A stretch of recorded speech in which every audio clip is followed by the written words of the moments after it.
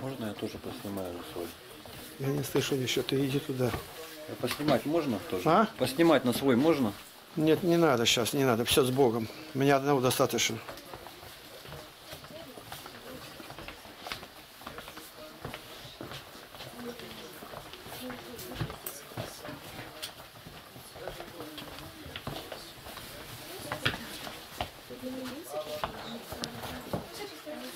Садитесь сюда, чтобы я вас всех видела. Сюда.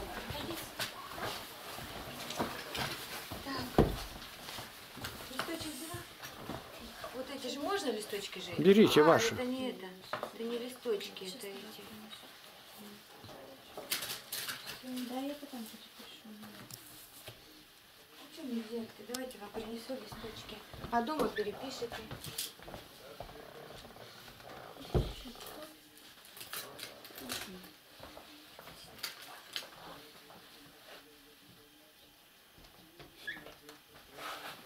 Красиво. Давайте сейчас снимем. Можете свернуть, можете пополам даже порвать. Молимся.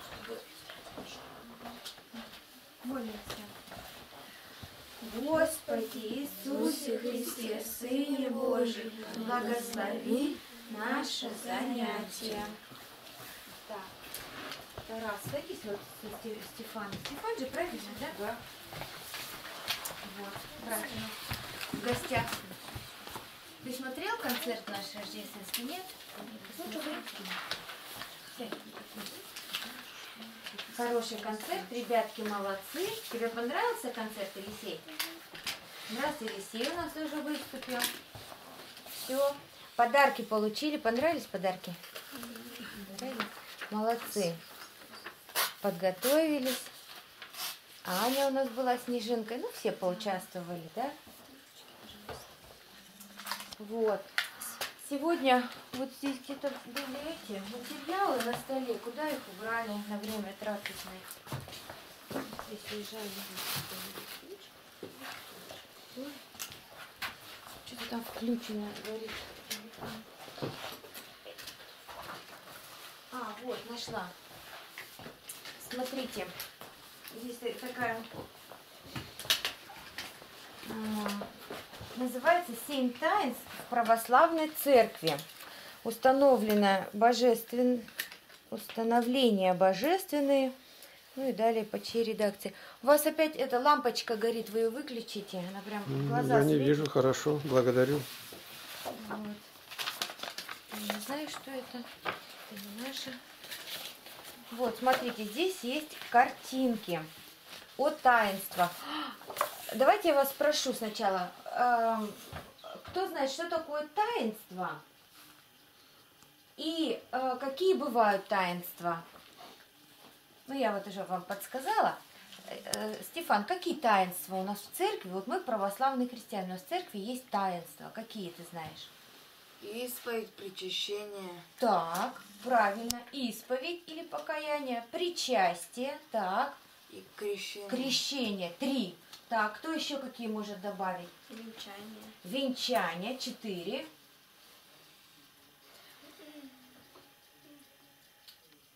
Ну, дальше сложнее. Но это самый популярный, который мы часто знаем, видим. И слышим? Крещение сказали. Четыре, их семь, еще три. Но там они более сложные. У нас они а, не проводятся, поэтому вы про них и не знаете. Вот. Э, Давайте разберем, что такое таинство. Таинство. Ну, своими... Тайна, что-то та, от слова Скрыто. тайна, да, скрыто. Не знаю, это скрытое, это скрытное. Что-то скрытное, да? Это такие священные действия. Опять же, а что такое священно? Что значит слово священно? Вот, например, говорят, священный сосуд, священный, э, То есть необычно. вот священник, да, даже священник. Священно, Ливия, подумай. Священная вода. Но это не священная, она освящен, освященная. Священник ее освятил. А что такое священная? Священная вода это...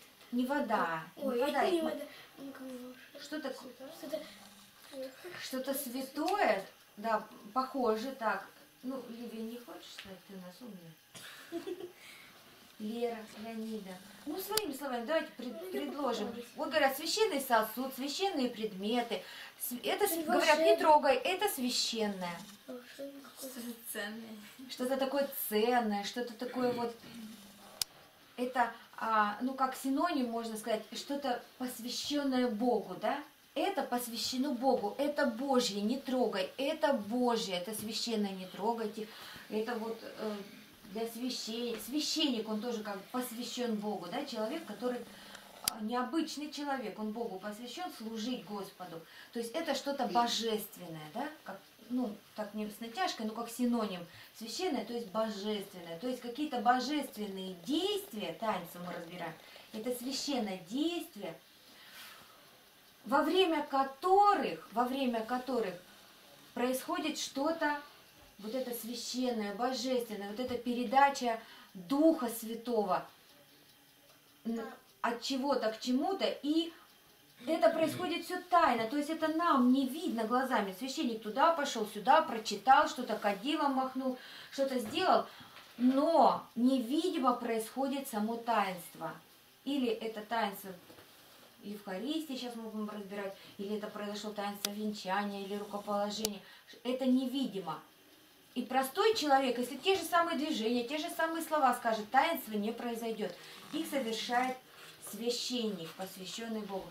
Елисейка, ты хотел сказать что-то? Я хотела сказать, что я смотрела передачу по Иисусу, как его спяли. Как его распяли. Так. Теперь, молодец, возвращаемся к таинствам.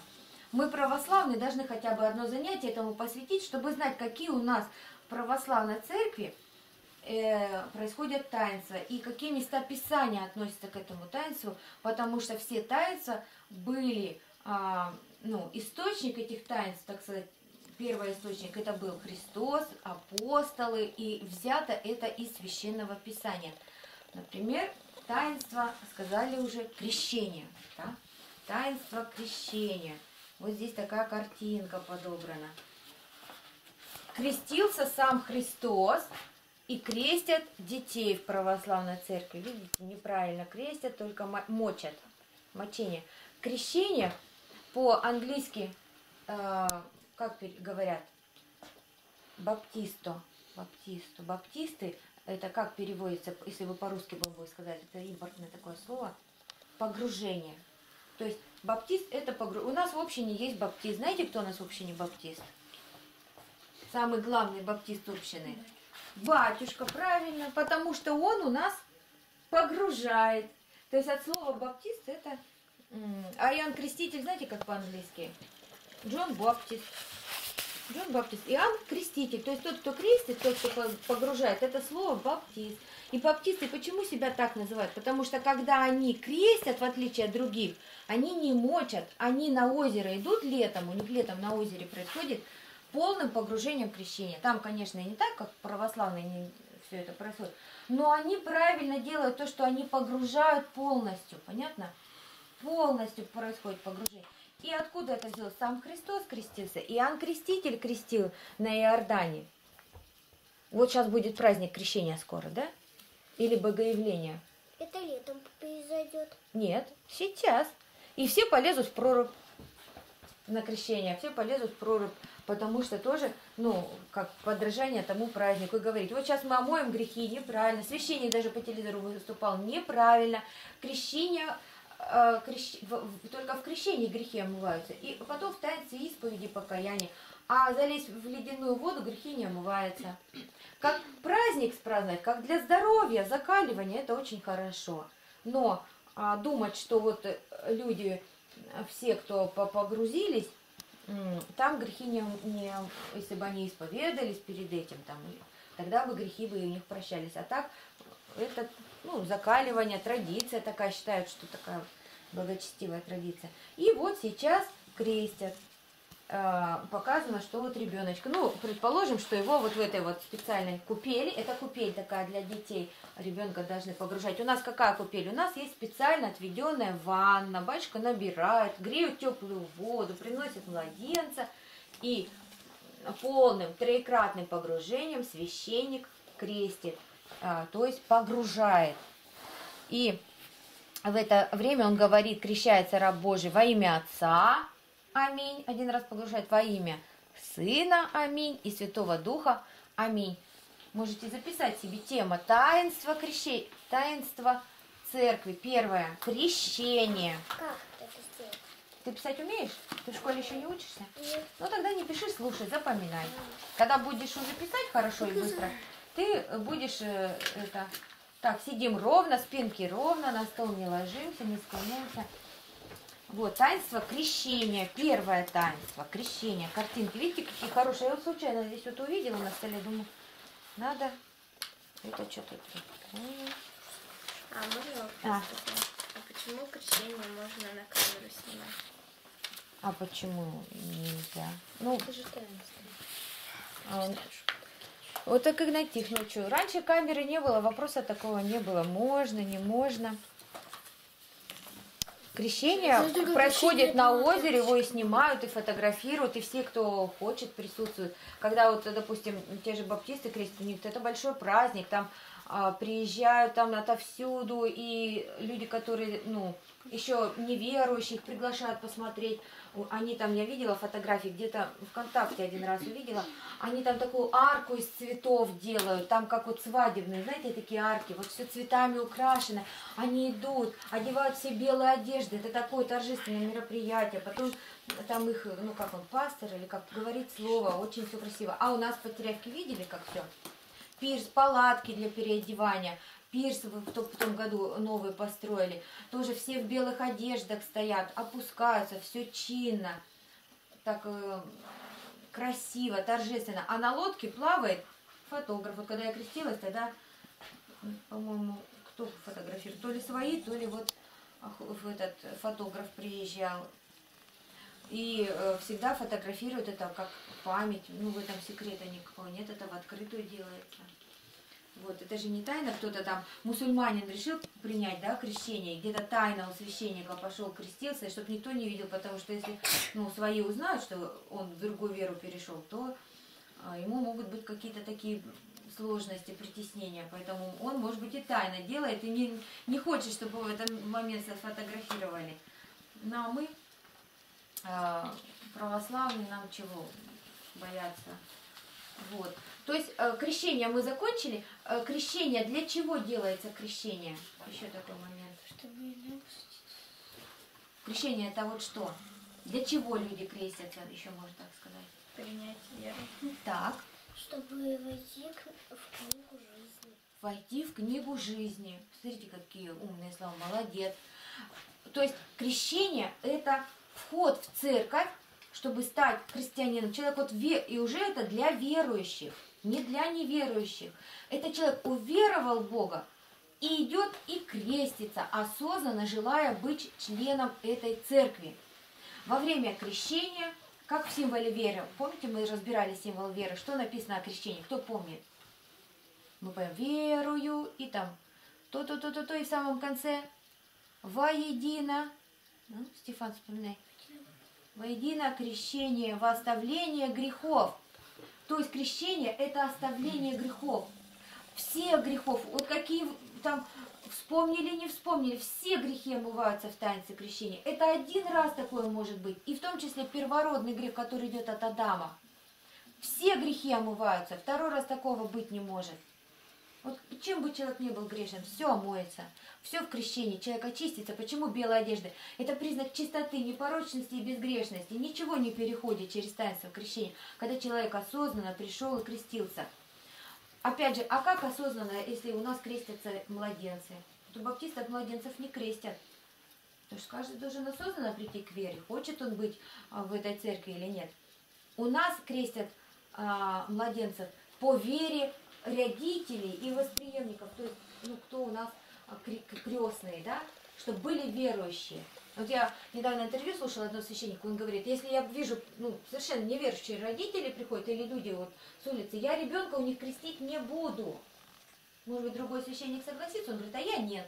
Я скажу, пусть ребенок подрастет и сам выберет, решит, придет ко мне, чтобы он уже, ну, говорить умел, понимал, читать умел. И он скажет, я хочу принять крещение, хочу быть в церкви православной. Он тогда говорит, я его тогда крещу. А наши дети, мы, вот вы практически все здесь были крещены младенцами неосознанно по вере родителей. Понятно? Вот. Что еще? И крещение это не значит, некоторые говорят, я же крещеный, потом живет, церковь не ходит, ничего не соблюдает, а потом заболел, например, или умер, э, если такое случается, уже там в возрасте, старенький, заболел, говорят, ну он, да, он был крещеный, значит, его можно отпевать, за него молиться, все, он христианин. Скажите, он христианин, он верующий, если вот он только когда-то крестился, ну, в детстве или в юности пошел, непонятно для чего, чтобы не болеть, или как все, да, это, знаете, можно сравнить с экзаменом. Человек сдает экзамены, к ЕГЭ готовится, чтобы поступить в ВУЗ, там, престижный, в МГУ, там, поступить.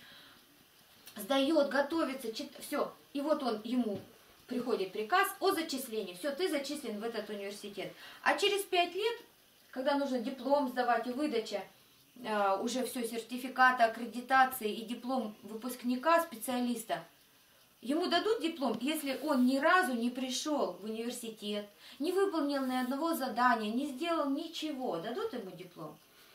Вот он поступил и не пошел. У нас в институте такая была, Лена, помню, я даже фамилию не запомню. Мы увидели на первом занятии, все. Потом она пропала, пропала. Первая же сессия, пришел приказ об отчислении. Куда пропала? Уехала она откуда-то с другого региона была. Не появлялась ничего, все, ее отчислили уже. Так вот, как бы вот это вот поступление, вот эти ЕГЭ, это как крещение. Крещение это всего лишь вход. Не знаешь, что креститься, все, я теперь все уже дальше, все. И дальше ничего не надо. Это начало, это первая ступенечка. А потом, если в институт поступил, грызи гранит науки. Изо всех сил старайся, чтобы не отчислили, чтобы до диплома дойти. А диплом это как бы уже страшный суд, да, все. Финал жизни, пришел на суд, а ничего не было, кроме того, что крестился когда-то. Ничего. Заповеди Божьи не, не соблюдал, в храм не ходил, посты не соблюдал, дела добрые не делал, не молился, ничего. То есть диплом такому специалисту ни один университет не даст, кто не ходил и не посещал, да? Ни один. Вот это можно сравнить. Что такое таинство крещения? И к нему еще, к таинству крещению, таинство миропомазания. Во время него происходит таинство миропомазания. Видели, а, как батюшка, когда младенца крестит, он достает такую коробочку, номер два, миропомазания. И мажет и говорит, печать дара Духа Святого, печать дара Духа Святого. Много-много раз повторяет батюшка, помните? Таким специальным. Это мира. И он ну, такая маленькая палочка, и вот так вот э, на лоб, на ручки, на ножки, то есть на все члены тела наносит мира. Это специально, это не просто маслом, которым вот нам смажут каждую субботу. Это таинство. Мира специально изготавливается во время Великого Поста. Несколько дней варится специальная вот эта мира. Молитва, читается Евангелие, участвуют в этом священники. Делается это, как правило, в монастыре, то есть где-то в таком намоленном месте. Раз в год делается на, на весь приход, на всю епархию, как правило. Вот у нас там, в Москве это варят, каком-то там специальном монастыре. И этим, только этим а, священник помазывает. Раньше миропомазание делал епископ, но не везде есть епископ, не, не везде он присутствует. Тогда вот придумали, что там закладывается в это миро вот это как бы свящ... ну, вот это епископское вот это благословение, а потом а, уже обычный священник его и произносит, и наносит. Как бы вот человек крестился, вошел в церковь, а теперь вот мира это как, а, сош... как, ну, как Дух Святой. Сейчас найду это где Вот, мир помазания. Получает дары Святого Духа. Если раньше священник руки возлагал на новокрещаемого на человека, то сейчас вот этим миром это специальное благовонное вещество. То есть крещение это очищение от грехов, да, во, во, воедино крещение, во оставление грехов. А миропомазание – это сошествие Духа Святого, печать дара Духа Святого, священник говорит. Вот что происходит. Это как бы два таинства в одном. Крещение и миропомазание одновременно происходят. Так, все, священник Э, покрестил, человек вступил и стал членом церкви. Все, мира помазания. Вот также младенец, видите, он уже после погружения, он уже, его батюшка миропомазание. Третье таинство покаяния или таинство исповеди. Покаяние, как правило, называют то, что человек кается первый раз, перед тем, как принять крещение, он кается во всех своих грехах. А исповедуется потом он еще каждый раз перед причастием. Вот ис- исповедь. Всем понятно, да, что такое исповедь? Священник только свидетель. Стесняться исповеди не- нельзя, не надо. Стесняться, написано, нужно грешить, а не исповедовать. И никак себя во время исповеди не оправдывать, не придумывать оправдания, что ну я согрешил, ну потому что и вот оправданием ни в коем случае нельзя. Согрешил и все. Не думайте, что вот там батюшка вас не так поймет или еще. Он свидетель лишь, вы каетесь пред Господом.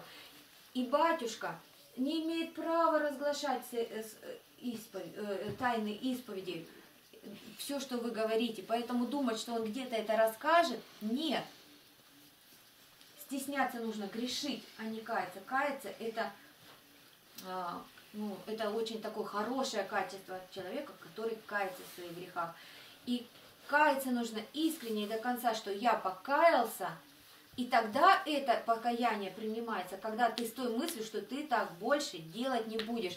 Как некоторые неверующие говорят, о, хорошо, вы устроились, покаетесь, вышли, погрешили, знаете, сейчас погрешу, опять покаюсь. Значит, это было не покаяние, если человек с мыслью о том, что он еще опять будет этим грешить, а потом опять покается, и все. Тогда не происходит, это не истинное покаяние очищением от грехов. А откуда это пошло, что священник может такое на себя брать? Почему некоторые говорят, я покаялась перед Богом, я вот дома села, помолилась перед Богом, все, мне не нужно идти к священнику. А откуда мы знаем, что нужно? Сейчас покаяние найду, вот.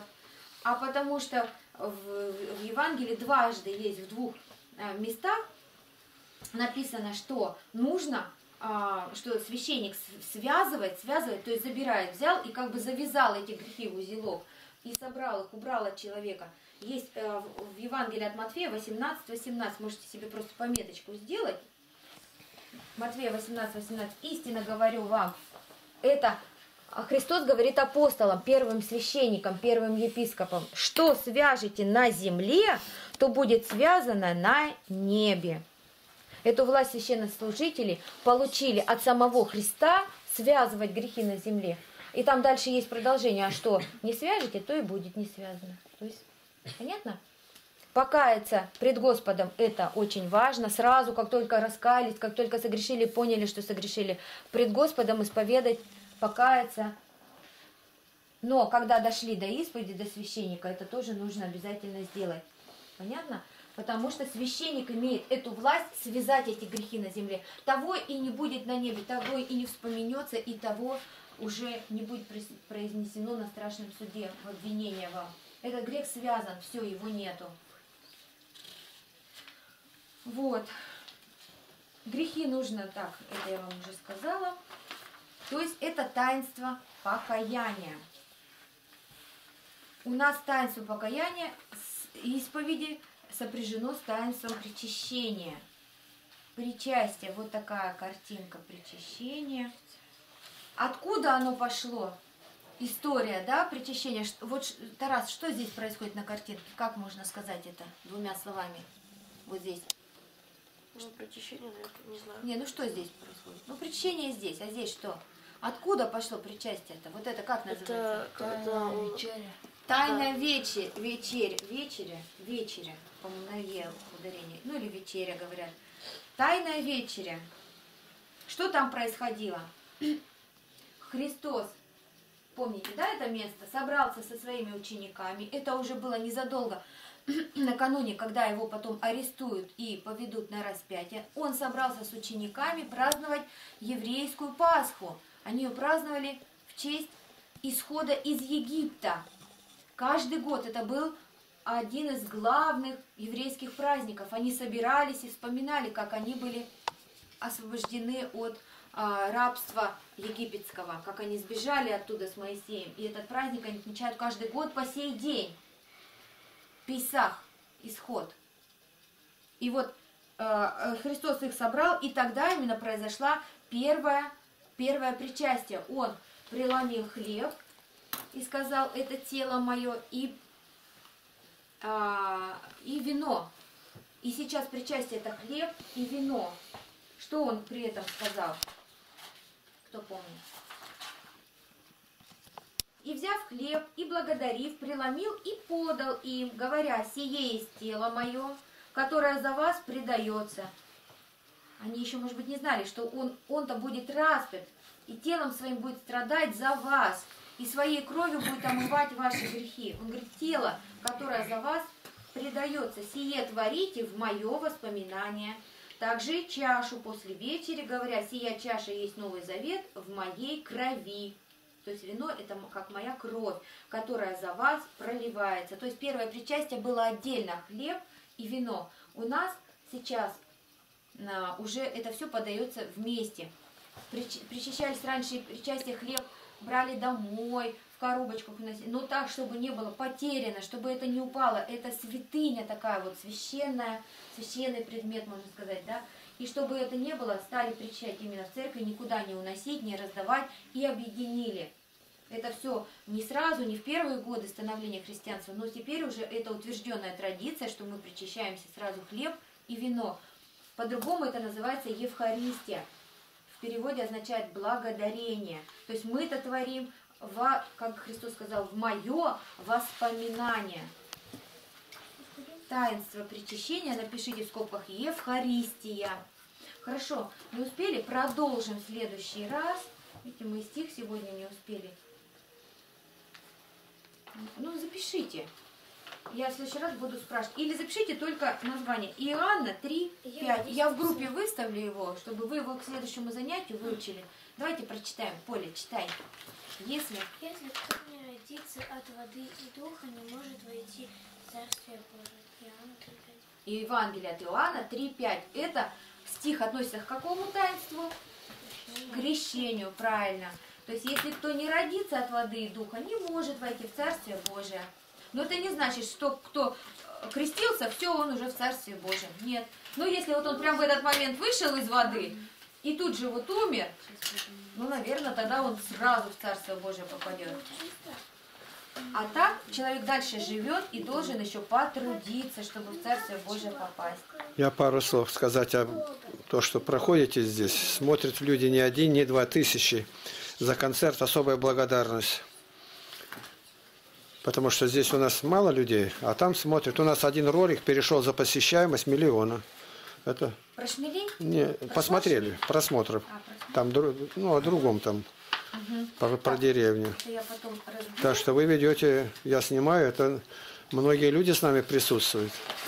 Все, ребятишки, пойдемте, я вот не знаю, что это. Какая-то бумажка здесь была. Почитайте. как это. Мне давайте, я их занесу, положу на стол, вы их заберете потом. Так, встаньте. Сейчас поблагодарите. Поверни сюда лицом. Господи, мы благодарим Тебя за это занятие, за то, что мы занимаемся. Помоги, Господи, вложи в детей мудрость, запоминать и принимать то, что мы здесь проходим. И научи нас, Господи, так счислять дни наши, чтобы нам приобрести сердце мудрое. И болящую Алевтину исцели, воздвигни ее от одра болезни. Помоги ей, Господи. Тебе за все слава, хвала, честь и поклонение. Отец, Сын и Дух Святой. Аминь. Пойдемте. Давайте. Хорошо, креститесь, когда в храме стоите, чтобы рука доходила до левого плеча.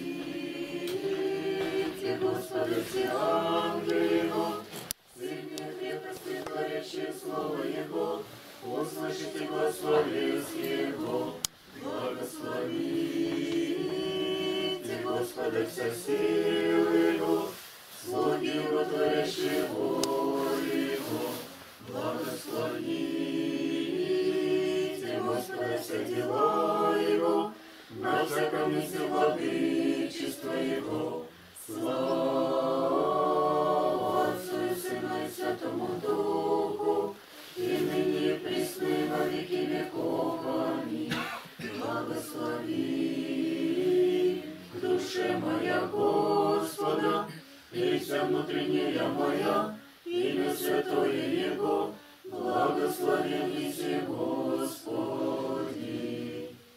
Господи Иисусе Христе, Сыне Божий, помилуй нас.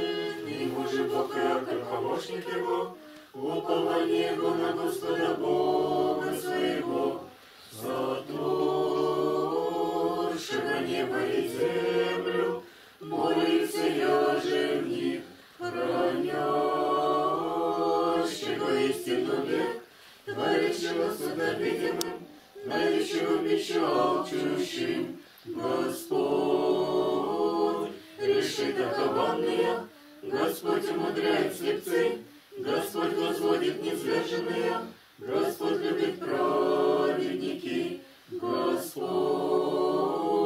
хранит пришельцы, всех да упримет, и грешных погубит, воцарится Господь вовек, Бог то Сионе в роды род, и ныне Христе во веки веков. Аминь. Единородный Сын и Слове Божий бессмертенцы, изволили спасения нашего ради, воплотитесь от святые Богородицы и Преснодевы Марии, непреложного человечевися, распнется же Христе Божий смертью смерть по правой, единцы святые Троицы, Прославляем Отцу и Святому Духу, спаси нас, спаси нас. Господи Иисусе Христе, Сыне Божий, помилуй нас.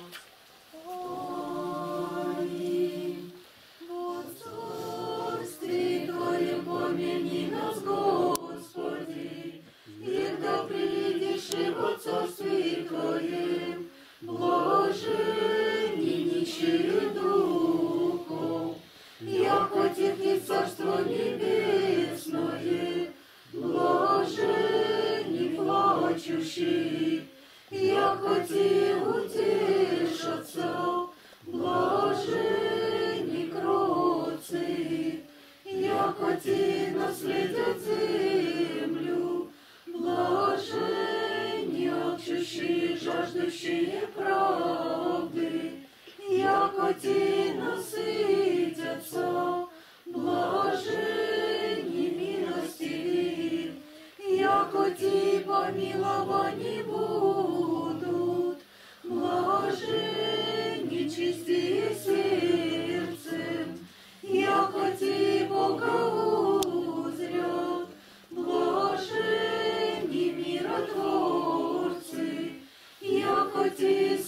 сынове Божии нарекутся,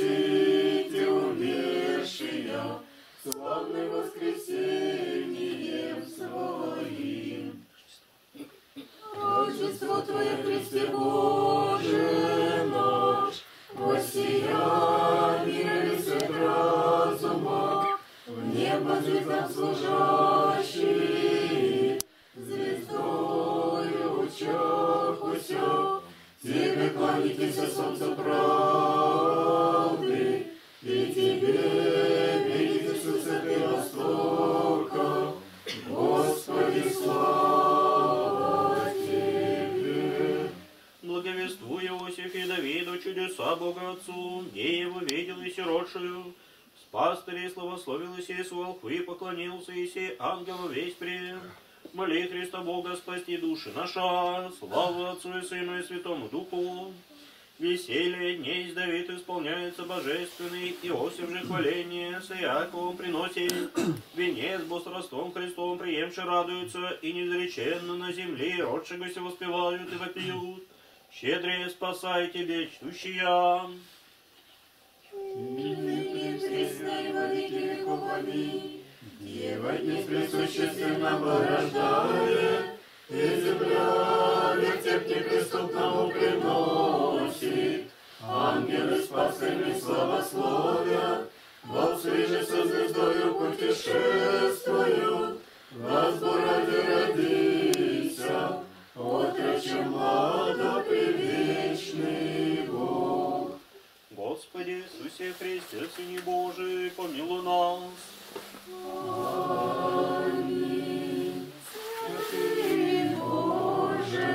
Святый крепкий, святый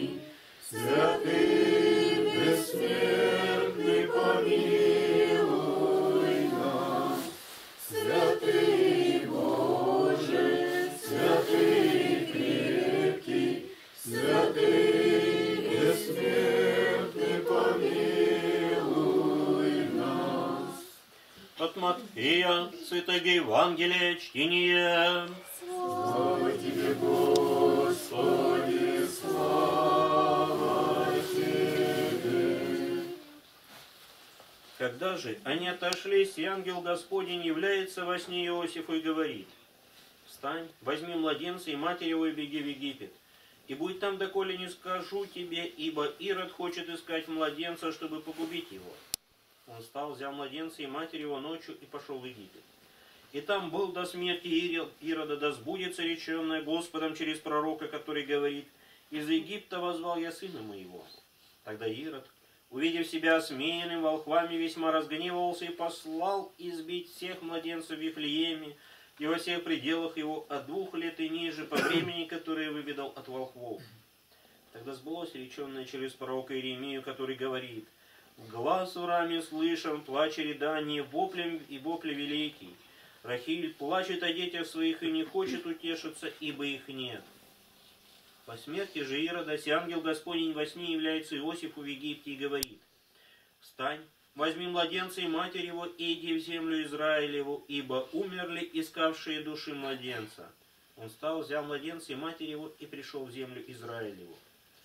Услышав же, что Архилай царствует в Иудее вместо Ирода, отца своего, убоялся туда идти, но, получив во сне откровение, пошел в пределы Галилейские.